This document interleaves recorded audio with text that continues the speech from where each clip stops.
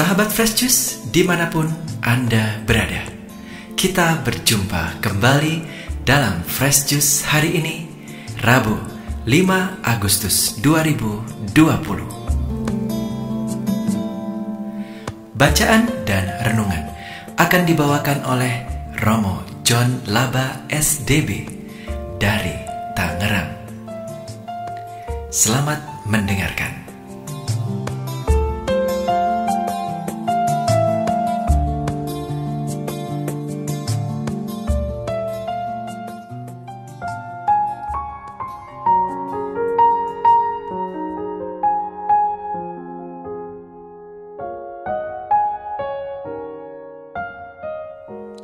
Saudari dan saudara yang dikasih Tuhan, jumpa lagi dalam Daily Fresh Juice pada hari ini hari Rabu, pekan biasa yang ke-18, bersama saya Pastor John Laba SDB dari komunitas Salisan Don Bosco Tiga Raksa, Tangerang.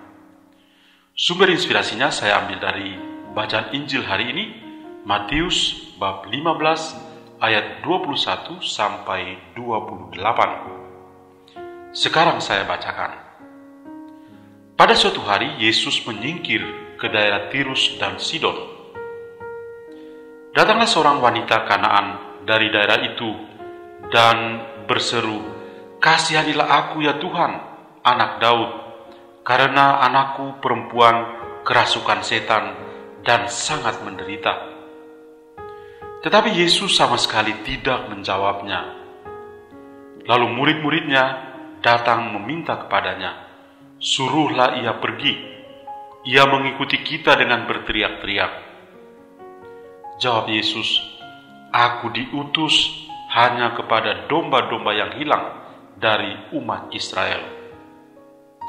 Tetapi perempuan itu mendekat dan menyembah dia sambil berkata, "Tuhan, tolonglah aku. Tetapi Yesus menjawab, tidak patut mengambil roti yang disediakan bagi anak-anak dan melemparkannya kepada anjing. Kata perempuan itu, benar Tuhan, namun anjing itu makan remah-remah yang jatuh dari meja tuannya. Maka Yesus menjawab dan berkata kepadanya, Hai ibu, besar imanmu maka jadilah kepadamu seperti yang kau kehendaki. Dan seketika itu juga anaknya sembuh.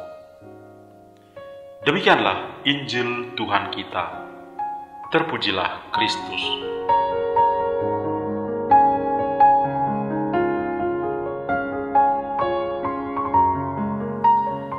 Saudari dan saudara terkasih, saya memberi judul renungan hari ini Inilah wajah kerahiman Allah.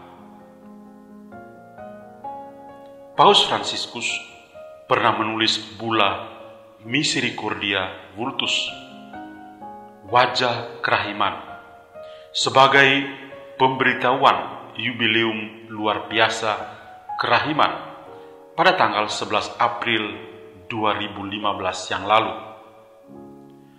Mengawali bula pemberitahuan ini, beliau menulis dengan jelas seperti ini. Yesus Kristus adalah wajah kerahiman Bapa. Kerahiman telah menjadi hidup, nampak, dan mencapai puncaknya dalam Yesus dari Nazaret.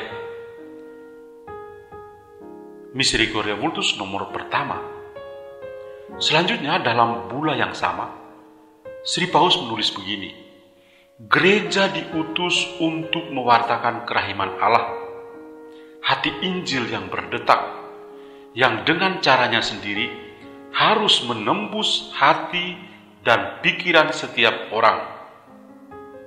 Mempelai Kristus harus mencontoh sikap anak Allah yang keluar menjumpai setiap orang tanpa kecuali. Misericordia Bultus nomor yang ke-12.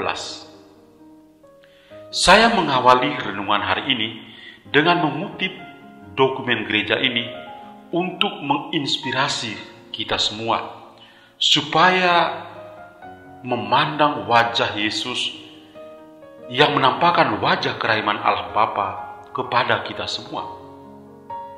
Di masa pandemi COVID-19 ini, kita semua merindukan wajah kerahiman Allah Bapa dalam diri Yesus Kristus, teristimewa dalam Ekaristi Kudus.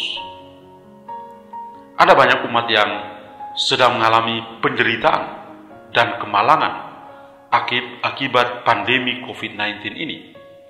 Tetapi tidak berhenti merindukan Allah yang tersamar dalam sakramen Ekaristi, sakramen Maha Kudus. Dari Tuhan Yesus Kristus yang selalu berkeliling dan berbuat baik, kita belajar untuk keluar dan menjumpai setiap orang untuk menunjukkan wajah kerahiman Allah yang satu dan sama. Pada hari ini kita mendengar sebuah kisah Injil yang melukiskan sosok Yesus yang menunjukkan wajah kerahiman Allah Bapa kepada orang asing yang beriman kepadanya. Dikisahkan oleh penginjil Matius bahwa Yesus meninggalkan markasnya di Galilea menuju ke daerah Tirus dan Sidon. Ini adalah sebuah perjalanan yang jauh. Perlu diketahui bahwa jarak tempuh dari Kapernaum ke Tirus adalah sekitar 35 mil atau sekitar 56,3 km. Dan dari Kapernaum ke Sidon adalah 50 mil atau sekitar 80,4 km. Jarak dari Tirus ke Sidon adalah 36 km. Bisa dibayangkan begitu jauh. Dalam perjalanan yang jauh dan melelahkan ini, Yesus berjumpa dengan seorang wanita Kanaan tanpa nama dia adalah seorang asing, artinya berada di luar komunitas Yahudi, dan dianggap saat itu oleh kebanyakan orang tidak ada keselamatan bagi mereka. Wanita ini tidak malu-malu untuk memohon layaknya orang beriman seperti kita saat ini kepada Yesus. Kasihanilah aku ya Tuhan, anak Daud, karena anakku perempuan kerasukan setan dan sangat menderita. Reaksi Yesus adalah dia tidak menjawabnya. Para murid bahkan meminta Yesus untuk mengusirnya karena ia mengikuti mereka sambil berteriak-teriak. Tentu mengganggu mereka. Yesus sendiri mengatakan bahwa misinya adalah diperuntukkan hanya bagi domba-domba yang hilang di Israel karena tidak diperhatikan oleh para gembalanya. Dia selalu melihat umat Israel seperti domba tanpa gembala, dan ia menunjukkan hatinya yang penuh kerahiman. Ia selalu tergerak hati oleh belas kasihan kepada mereka. Namun wanita asing ini tetap mendekat dan menyembah dia sambil berkata, Tuhan, tolonglah aku. Tuhan Yesus melihat iman dan kerendahan hati wanita ini, maka layaklah ia mengalami kerahiman Allah. Anaknya sembuh seketika karena imannya sebagai ibu kepada Yesus. Bacaan Injil sangat kaya maknanya bagi kita. Ada sosok-sosok yang memberi pelajaran hidup kepada kita pada hari ini. Pertama, wanita Kanaan di tanah asing ini percaya kepada Yesus dan ingin mengalami keselamatan dalam Yesus Kristus. Mujizat penyembuhan terjadi karena imannya kepada Yesus. Kata-kata yang keluar dari mulutnya menunjukkan iman dan kerendahan hatinya di hadirat Tuhan. Kasihanilah aku tolonglah aku. Anak perempuannya menjadi sembuh karena iman, karena kerendahan hati, dan doanya kepada Yesus. Banyak kali kita yang sudah dibaptis bangga sebagai orang Katolik, tetapi malu dan masa bodoh untuk memohon kerahiman Tuhan dengan seruan yang sama dengan wanita ini. Di antara kita justru memohon kepada dukun atau pendoa mata duitan untuk menolongnya. Andalkanlah Tuhan, maka Anda akan selamat. Wanita kanan ini adalah guru kehidupan kita. Kedua, para murid. Para murid merasa berada di zona nyaman. Mereka meminta Yesus untuk menyuruh wanita itu pergi menjauh dari mereka. Para murid adalah kita banget karena merasa berada di zona nyaman, juga status quo keselamatan, maka mudah sekali menghalangi orang lain untuk mengalami keselamatan. Berapa kali kita itu menghalangi sesama untuk dekat dengan Tuhan? Berapa kali kita menjatuhkan sesama kita ke dalam dosa karena perkataan dan sikap-sikap yang lain? Tuhan, ampunilah kami orang berdosa ini.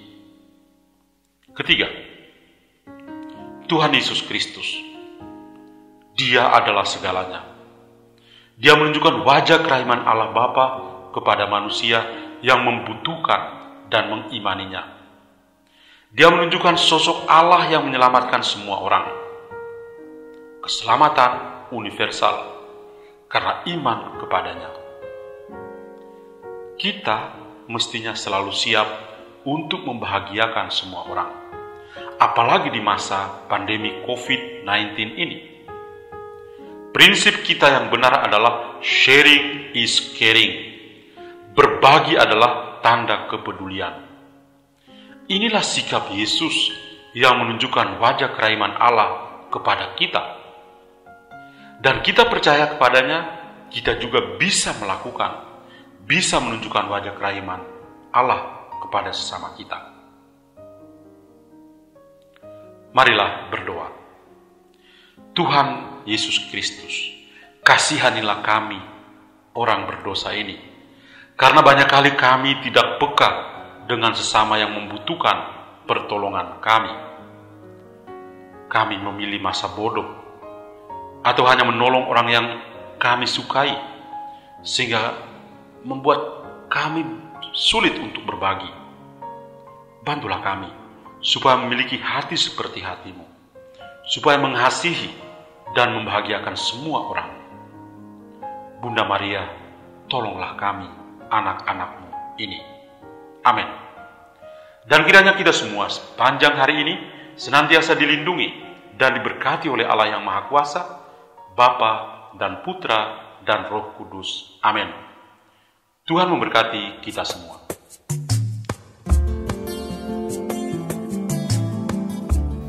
Sahabat Fresh Juice, kita baru saja mendengarkan Fresh Juice Rabu 5 Agustus 2020. Saya Yofi Setiawan beserta segenap tim Fresh Juice mengucapkan terima kasih kepada Romo John Laba untuk renungannya pada hari ini.